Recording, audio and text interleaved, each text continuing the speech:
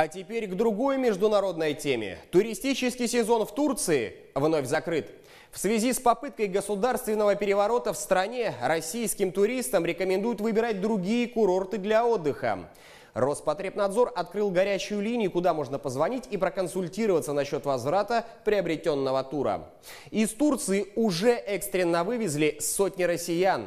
О том, как реагирует на происходящие события туристический рынок Новосибирска и какие курорты выбирают горожане, расскажет Алия Арзаева. Совсем недавно турецкие курорты вновь открыли для россиян. Сначала на регулярных рейсах, а вскоре собирались возобновить и чартеры. Однако последние события не дали этим планам свершиться.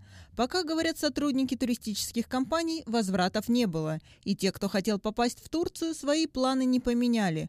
Но и массового спроса на это направление не отмечают. Менеджеры проговаривают все те риски, которые могут приключиться с э, туристами.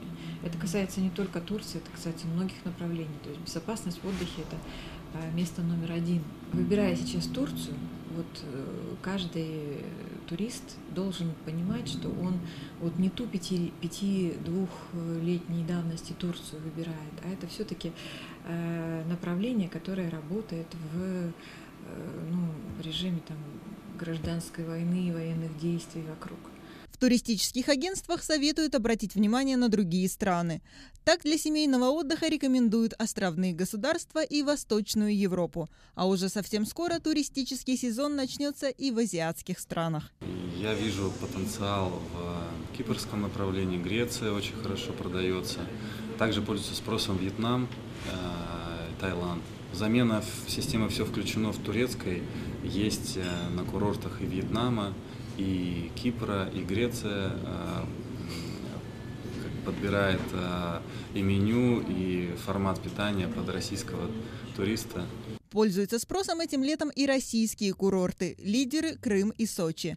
Кроме того, сейчас практически невозможно забронировать домик или номер на выходные ни в одной базе отдыха Новосибирской области. Алия Арзаева, Семен Татаринов. Специально для итогов недели. Такой ситуация на туристическом рынке выглядела еще позавчера. Однако накануне Росавиация сняла запрет на полеты россиян в Турцию. Из Новосибирска сегодня можно улететь в Стамбул и Анталию. Правда, пока только через Москву.